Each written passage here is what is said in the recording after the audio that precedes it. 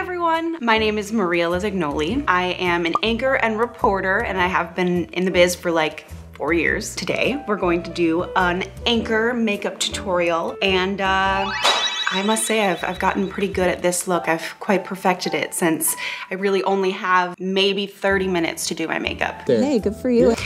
All right, let's get to it. So when I'm just reporting, I go for a lighter foundation. This one's my favorite. It's the L'Oreal Infallible. Cheap drugstore makeup. It just works really well. Good coverage, kind of dewy. When I'm anchoring, I definitely go more full coverage and I do the Born This Way foundation. It's matter and it's more full coverage. So when I uh, am under all the lights in the studio, it's not as much of a shine. And um, you know what I mean? All right, I do like two pumps just kind of bounce it around.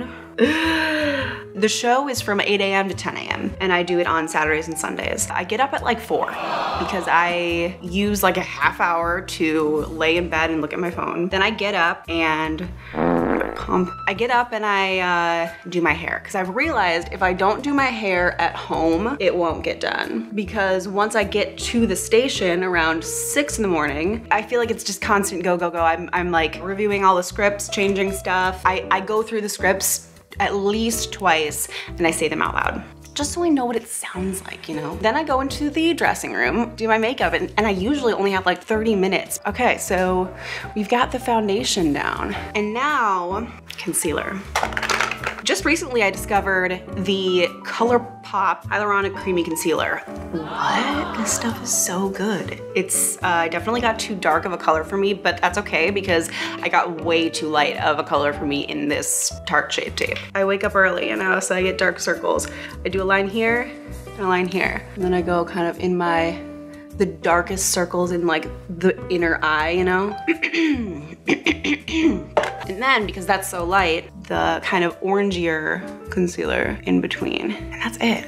That's it. That's all she wrote. Beauty Blender. Ah. okay. And then the eyeball. You gotta make sure it's not like just stopping on your eyeball because I like to just make sure it goes all over my eyelid, over kind of my, my nose and eyebrow area, and then over my eyelid too, just so it all looks blended together. Because I hate when it's like just solid white eyelid and then you can tell that mark between the concealer and the foundation. So you just kind of take whatever I have left and just kind of blend it over everything.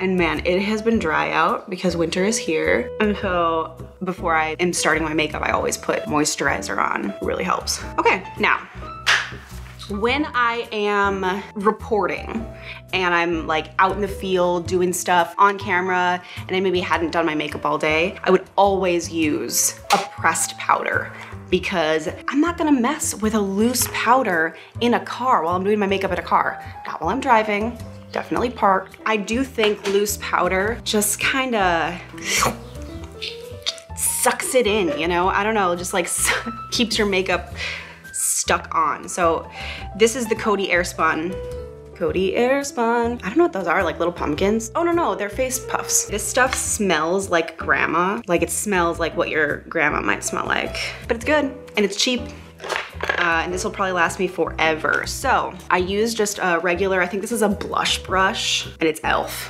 Oh, it's a highlighting e.l.f. brush, but I dip it into the powder like this, so it's all coated, and then I kind of tap it into the, sometimes puff it on the puff. And so I just kind of press it in. Press, press, press, press, press. Can't see your grandma? Put some of this on your face. Okay, then I make sure I do my eyelids to get some on your eyelids. And now I just kind of go everywhere. There we go. There we go. Okay. Butter bronzer, dude. Butter bronzer. You can tell I've done some damage. And this is quite honestly like the 10th one I've bought because I just, I just love it. I just love that it has like a little bit of a sheen and a little bit of, uh, it's just a light kind of wave of, of warmth. And what I love the most, smells like a tropical vacation. So you go from grandma to grandma on the beach. It's quite wonderful. I start higher on my face. Like I used to start kind of down here. Now I start like at the top of my ear and I just start kind of blending it in. The majority of the product up here on my cheekbone, blending it down. And I don't have fancy brushes, man. I, I bought an e.l.f. brush roll kit years ago and that's what I've been using and I love them. Can't forget the forehead. You gotta like round your whole face out, you know?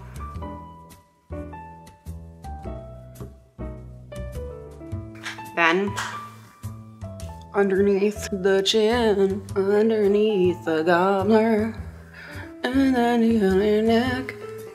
Then I take, so this is kind of a domed brush. I take the top of it and I like just kind of gently go into the bronzer. So it makes like, just like a little bit on the tip, not anything on the sides. I don't do any nose contour except for this. I just kind of, boop, boop, boop, boop. Just like straighten my nose out a little bit. Contour. You know, quarantine has been, has been very stationary. So you can shave off some pounds by using makeup. So I use the darkest color, which is really daunting. Um, you just gotta be really light-handed. So I dip in, tap it off. I even like tap it on my hand just to like get some of the color off. I kind of like look straightforward and I just you know, just kind of darken up this area so it looks like a shadow. So all that extra face is pushed back. You kind of go under your jawline. And it looks kind of funky, but you know what? Like when you're anchoring, you're pretty straightforward. If you wanna take pictures, uh, this is a good trick. And then very lightly, very lightly on the cheekbones. Basically where I did the bronzer, but just a quick little, see, just that little subtle. Hopefully. Maria, you have like a brown stripe on your face. If that's the case, I take my bronzer brush again and I kind of just work it in. Work it in.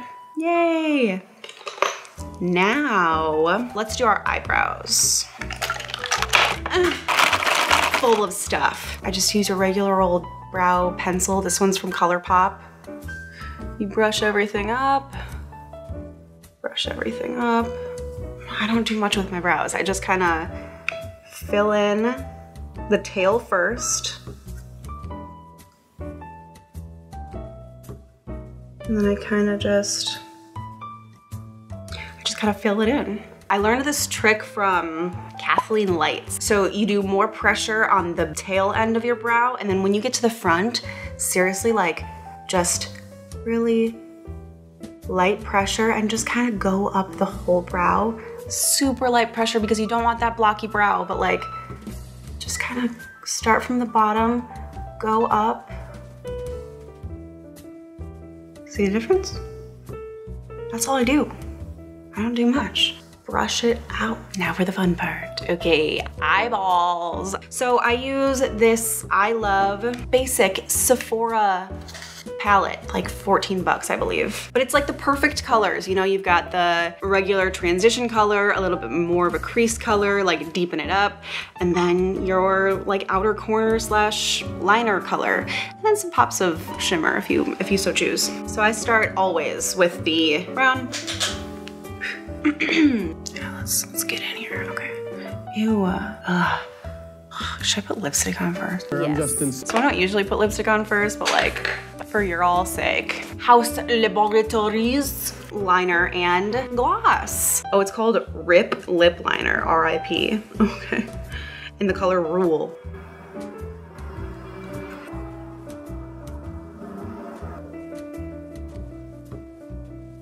I like it. It's creamy. It glides on really well. The lippy gloss. Ooh, ooh. Ooh, look at that. Close and personal. I don't know, it's just like a little curved doe foot. Mmm. Matches my shirt, kinda. Yeah, okay, now eyes. Let's go back. I do kind of like an oval oval shape. My uh, I have small eyes and I know you should like drag it out more to make your eyes like lift, but I just feel like the oval shape looks better on me because I don't have like a lot of lid to show, you know? So I try to make my crease bigger than it is. So I just deposit the color. And again, I don't do any like crazy fancy eye looks for anchoring in the morning because I don't have time. Eyes, eyes take a while, you know? Like doing a fun, crazy eye look, that could take like 30 to 45 minutes. So I just slap on some brown. I might build it up more, but then we take that same color. This is a trick. You don't need a new brush. You just take your brush, pinch it, so it's kind of like a fan. You put it under your eye and it just deposits like a more precise amount of that eyeshadow right at the lash line. And then you just take it regular and you kind of blend it out. Neat trick, right? If I have time, I will take another brush, it's a little smaller, a little denser, and go into that um, more cool toned brown color. Just adds a little bit more definition to this crease and I kind of just pack it on the outside. And then I go like a lower into the actual crease of my eyeball. So I use just a little angled brush and this darkest color. Again, e.l.f., look how ratty and like old this is. It's like peeling off. I've had to glue the head back on. You do what you can do. I honestly do look down into a mirror and I just press the color into the outer part first, just on the lash line. Bring it all the way across. It just makes your eyelashes look fuller, you know, it just makes the whole lash line look fuller. See, it's just like a fake eyeliner with eyeshadow.